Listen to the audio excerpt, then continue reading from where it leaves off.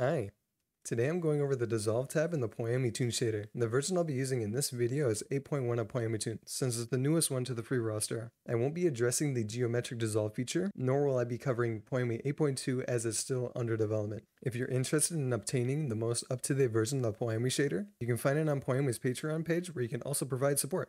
Throughout this video, I'll be exploring several tabs that relate to the stuff that you can use in the Dissolve tab. Take this video with a grain of salt as Poiyomi continues to refine both his shader and his documentation on his website. For those that are using 8.0, most of the settings will be the same with some little changes, and if you're using 7.3, Godspeed to you. Anyway, starting right off, pull down the arrow on your avatar, select the mesh you want to dissolve, go to its material, special effects, and then turn dissolve on. A frequent option I'll be using is dissolve alpha to show the effects. And for this video as well, I'll be using more than just my avatar to show the effects of the tab as well. So I'll be clicking on my materials themselves since I can't select both of my objects. So first off, we have dissolve type. Basic will cause everything to vanish simultaneously. Point to point dissolves from one point to the other.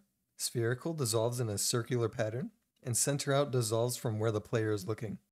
Notice that switching between the types, certain options vanished while new menus appeared on the bottom. These menus offer additional settings for the types you're using. For point to point, you have world slash local. Local is relative to the object's coordinates. World uses the world coordinates. And vertex colors use vertex colors for the positions. Poiyomi says to generally set this to local for avatars unless you're utilizing the world positions for specific effects. An example I can give, any world can be at a different height. Edge length makes the edge more thicker. Moving the start and end points will let you change the direction of the dissolve and clamp dissolve will dissolve the rest of the mesh if it doesn't fully dissolve. Notice removing the starting point will clamp the dissolve effect back to not dissolving anything. It works both ways, so removing the end will clamp the dissolve effect back to the end of the mesh. For spherical, center point changes the position of the dissolve point, radius makes the point bigger or smaller, invert inverts the whole effect, and clamp dissolve will dissolve the rest of the mesh if it doesn't fully dissolve. For center out, Center out mode has a view direction, meaning it will follow the player's view. Custom direction lets you change the direction. And light direction taps into the world lights for the dissolve. Going back to view direction, invert inverts the whole effect. Use pixel normals uses normal textures. And power, when increased, lowers the power of the dissolve. Moving on to the edges. Edge width adjusts the size of the edge, making it larger or smaller. Edge hardness makes the edge smooth or solid. Edge color allows you to select the edge color. Edge gradient lets you apply gradients to the edge. Clicking on the small circle, you can choose from your gradient textures. If you want to make your own, click on the long box to open this menu. You can use the top arrows for alphas while the bottom arrows affect the colors. Selecting one of the bottom arrows, you can adjust the gradient positioning, and you can make more arrows by simply clicking on an empty space where the existing arrows are. Selecting the modes, blend mode blends the colors together while fix snaps the colors together. Lastly, for edges, edge emissions when turned up will emit a glow. For the dissolve category, dissolve color lets you change the color of the mesh when dissolved. Turning the alpha slider down, by the way, will let you go invisible. This is what creates the invisible toggles effect. If it's not working for you, change your rendering preset to cut out. Applying a dissolved texture, on the other hand, will show a texture when it's dissolved, and dissolved emission strength will emit a glow just like edge emissions. For transitions, the dissolve gradient uses gradient textures for dissolving. Take a gradient texture like I have here, or make your own, and it will follow the flow of the colors. Note that this option will only appear in BASIC for 8.1. For its counterpart, Dissolve Noise, it works very similar. Applying a black and white noise texture will let it dissolve like that noise. There is a variety of noise examples that you can choose by searching noise. When you alter the type as well, you'll notice that the effect behaves a little differently compared to the basic dissolve type. A bit off topic, but if you're wondering why my shirt is having a hard time showing these effects, it's due to my UV map setup. My textures are atlas together to reduce texture count, which can have a whole other video on its own, but what you need to know is that my shirt is very small in this UV map. To fix this problem, clicking on the arrow, you'll have more settings, which I'll get into shortly, but increasing the tiling will help the gradient or noise you're using show its effect better on your mesh. Detail noise smoothing smooths out the dissolved noise. Despite my efforts, I wasn't able to get this to work for the life of me. Switching through all the types and then through most of the noises yielded no results. As seen in this clip in the Poiyomi Discord, when the noise smoothing came out, this is what it was supposed to do. I'm not entirely certain if it's a bug with the version I'm using, the mesh I'm using, or just my way of using it. so you might have better luck than me. Dissolve detail strength influences the edge detail. Turning up the strength will increase the effect of the gradient slash noise you give it. Dissolve alpha controls the actual effect of dissolving. Before moving on to the rest, there were these arrows I mentioned earlier. I will be using the dissolve texture and the dissolve noise menus to show what these do.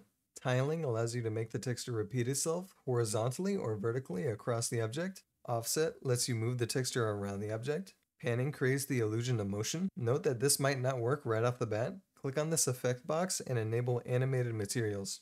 UV refers to the four sets of UVs you can have and the presets Poiyomi gave us. UV0 is the main UV on your mesh, and UV1 to 3 are the extra UV sets. If your mesh only has one UV map, changing this won't really do anything. If you're wanting to learn more about UV mapping, it involves Blender-like programs, which I'll go into a little bit more later in the video. Now the presets relate to the modifiers tab.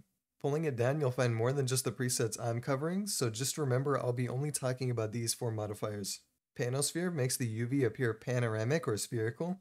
Enabling stereo typically refers to the stereoscopic effect, meaning that it will give each eye a little bit of a different look from each other. Now, just keep in mind that this is very unpleasant on the eyes, so enabling perspective correct will correct the perspective in VR. World position uses the world position for the dissolve effect. Moving around will look like the dissolve is staying in place. And pulling down local world UV, you can use world X and Y to change the directions of it. Local position uses the mesh position for the dissolve effect. Going back to local world UV, you can choose local X and Y to change the directions of it as well. Polar UV creates circular or radial patterns. Pulling down polar UV in modifiers, you can see that it has its own sets of UVs. Center coordinate lets you move the effect on the X or Y axis. Radial scale makes the effect bigger. Length scale makes the effect shrink. Say that 10 times. And spiral power makes the effect spiral more. Distort UV applies a distortion or wrapping effect. Going back to the modifiers tab, enabling distortion UV, it has its own UV sets. With mask, you can choose where to apply the effects when using a black or white texture mask. Remember, distortion only occurs in the white portions it covers. Pulling down the arrow, if you wanted to get a little crazy with it, you can use a mask with other colors like this one. Applying the distortion textures lets you further mess with the distortion effect. I'll be using more noise textures as an example. Strength 1 increases the distortion effect of the first texture, and Strength 2 increases the distortion effect of the second texture. Note that turning panning up will create this effect. And lastly, invert inverts the whole effect. Everything that you can adjust usually offers the same amount of options, even beyond the Dissolve tab, so feel free to tweak them to your liking. Dissolve Mask uses black and white textures, or as the name says, mask, to dissolve parts of the mesh. The black areas remain unaffected, while the white areas will dissolve. Global Mask relates to the Global Mask tab. Pulling down color and normals go to Global Mask. Enabling textures going into it allows you to have four different RGBA texture masks. An example, putting a texture that has red, green, blue, or alpha, like I have here, will let the global mask work in the Dissolve tab. Going back to the Dissolve tab and selecting 1R will only dissolve the parts that are red on the mask. This goes for 1G being green, 1B being blue, and 1A being alpha. For the rest, as in 1R, 2R, 3R, and 4R, they correspond to the textures in the global mask you're using. 2 is the second texture, 3 is the third texture, and 4th is the fourth texture. Now, if you do want the opposite effect, change multiply to subtract. You can try the rest of these, but pretty much they do all the same thing, just in a different way. For what's left in the global mask tab, I would feel bad if I didn't go over it since it's not really documented right now, so I might as well do it. In modifiers, Back face masking lets you dissolve both of the faces on your mesh, the back only faces on your mesh, or the front only faces on your mesh. To use this properly, go to your rendering tab and put cull to off. This is how you see your front faces and your back faces at the same time. Mirror masking lets you dissolve both in the mirror and out of the mirror. Inside dissolves only inside of the mirror, and outside only dissolves outside of the mirror. Camera masking lets you dissolve both in the camera and out of the camera. Inside dissolves only inside of the camera, and outside dissolves only outside of the camera. Distance masking dissolves by a distance. In position to use, pixel position uses the furthest pixels on your object to dissolve. An object position will undissolve the whole object. Max to min distances allows you to change the distance to where the dissolve will dissolve. You can reverse this effect by increasing the min distance, then decreasing the max distance. For min to max distance alpha, it changes how much your object will dissolve. You can reverse this effect as well by sliding min alpha up, then max alpha down. In blending, Replace doesn't use the mask as in it will dissolve the whole thing, and multiply will apply the mask for those parts not to dissolve. Now note, testing this effect in-game only works around the 0, 0 area. Ideally, I thought it would make it disappear when a mesh gets closer to you as it does in my project, but that isn't actually the case.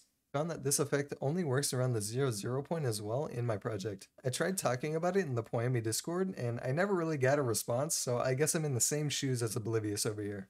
Options allows you to dissolve the global mask part of your mesh, switching the types for max min sliders, moving the slider more to the right will dissolve part of the mask, and moving the slider more to the left will undissolve the regular dissolve. In force toggles forces the dissolve on or off. Using vertex color mask uses the vertex values to dissolve stuff. Depending on if your model is vertex painted, unlike mine, any vertices that aren't vertex painted will dissolve. For example, in Blender, if you vertex paint parts red, and select red on the vertex mask, anything that wasn't painted red will dissolve. And lastly, continuous dissolve speed will make the dissolve move on its own continuously. Moving on to the final three menus. Hue shift lets you change the hue of course. Dissolve speed loops the color of the mesh itself when dissolved, while dissolve shift lets you slide through the colors manually instead. If you don't have a texture like I do, you can select dissolve color for the same effect. Enabling edge lets you change the color of the edge. Changing the edge color to red. Edge speed loops the edge color, and edge shift lets you slide through the colors instead. UV tile dissolve relates to the UV tile discard section. What UV tile discard does is it lets you discard specific parts of your mesh located in the UV tiles. For instance, let's say you're like me and one of your meshes has multiple clothings fused into one. Selecting discard UV, picking from UV 1 through 3, then using the toggles will discard those parts you put in those tiles. Going back to UV tile dissolve, it works the same way, it's just set up a little differently. Selecting UV tile, then pulling down the last row, using the slider will dissolve it instead of it just disappearing like its UV tile discard counterpart. Now, this also ties in the UV maps, so before jumping into Blender to figure it out, I recommend to at least watch a video on how UV maps work. Once you know how to use UV maps, it really only is one video by Cams on how to do UV tiles. I'll say, this is a little advanced for some beginners, so take your time learning both UV mapping and UV tiles for your avatar. There's more to UV tiles than just dissolving. You can increase the performance of your avatar since parts of the texture are discarded and are not being rendered on screen anymore. Yes, the polygons are still being rendered, but parts of the texture isn't. Another is you can remove clipping pretty much entirely by discarding parts of the body that are under the clothes. You're going to have to find an alternative way to do these toggles when uploading for Android, since the Poiyomi shader isn't available for that platform. I recommend not to use this technique as a way to dodge doing weight painting. You know it's a bad idea, it's not that hard to do, and I swear once you start doing it, you'll get pretty good at it. There's a video from Royal Skies about how weight painting works. He did a really good job at explaining it, and I highly recommend it because that's how I learned it. I'll show you a picture I made to visualize where everything is on the UV tile compared to the UV map it uses, so use it as you please. Locked in anim sliders functions the same way as Dissolve Alpha. This option can be used if you have multiple materials on a mesh like this cube I have here. Now, pulling it down, there are 10 alpha sliders to mess with. You can record different ones for various materials on your mesh renderer. Now, if you're a little confused on how this works, let's say you want to dissolve multiple materials separately from each other on the same mesh. Locked in anim sliders will let you do this. Note, there's actually two ways of doing this, and I question why this menu still existed, as you can use the rename and lock option instead of locked in anim sliders for the same purpose. But as stated in the doc, rephrasing what it says, you can have multiple materials dissolve independently on their own alpha sliders. In certain scenarios, if you wish to dissolve them simultaneously as well, you can record a single alpha slider for all the materials. I'll give you an example on how to use locked in anim sliders, as well as an example of using renamed and locked instead. Just a note, I won't be going over anything in the animator on how to do these toggles. For the anim slider example, go into the animation tab, make an animation for the first material on alpha 0, 0 being undissolve and 1 being dissolve. Notice I have to add animated for locks since I'm on a cube and not an avatar. This option should appear automatically when you animate these effects. You may have also spotted that it dissolves both materials instead of just one. Bear with me, I'll show you how to fix this. Creating another animation, pulling the second material down, and recording alpha 1, 0 being undissolved and 1 being dissolved. Now the reason it didn't dissolve separately is because the materials aren't locked yet, as in the name of the option, locked in animation sliders. So locking the materials, you can see that it dissolves separately now. If you're in the scenario where you're wanting the animation to dissolve them all together as well, make another animation and record all the materials on one of the sliders that aren't used yet. I usually do the last one. Now, as you can see, locking the materials, the slider works on both of them. For the renamed when locked example, Right click on Dissolve Alpha and hit Renamed when locked. This will lock the animation and create a unique suffix based on the material's name. If you don't know what that means, that's fine. All it does is makes the material unique from the other materials with its name when you record stuff as it's locked. Enabling it for the other material as well.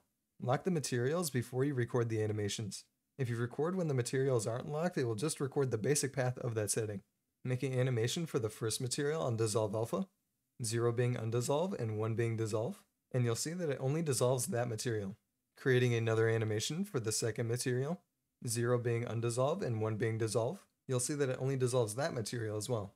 You could do this for other things as well than just dissolving, just know that some options may not work. The documentation for renamed when locked goes over pretty well. Alright, well that pretty much covers everything you'll find in the Dissolve tab.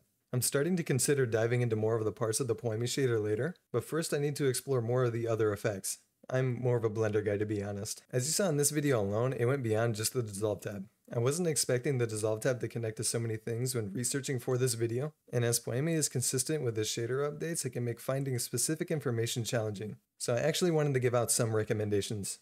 Poiyomi's documentation is helpful for understanding how things work, though just be warned certain areas might lack documentation, haven't been added to it, or just haven't been updated in a bit. So much of what I discussed, like Global Mask, was me figuring it out. Twitter, uh, I mean X, is a good place to find out how people are using the shader, and Poiyomi's Discord server is likely the best resource if you're keen on diving into deeper into this complex shader. Remember, this shader is a real beast in terms of capabilities, and it takes time to learn it. Anyways, thank you for watching. If you learned something about the Dissolve tab or any of the other stuff, I'm glad I've helped. You can support me on Ko-Fi as I plan to upload more stuff in the future. But until then, I'll see you next time. Bye bye.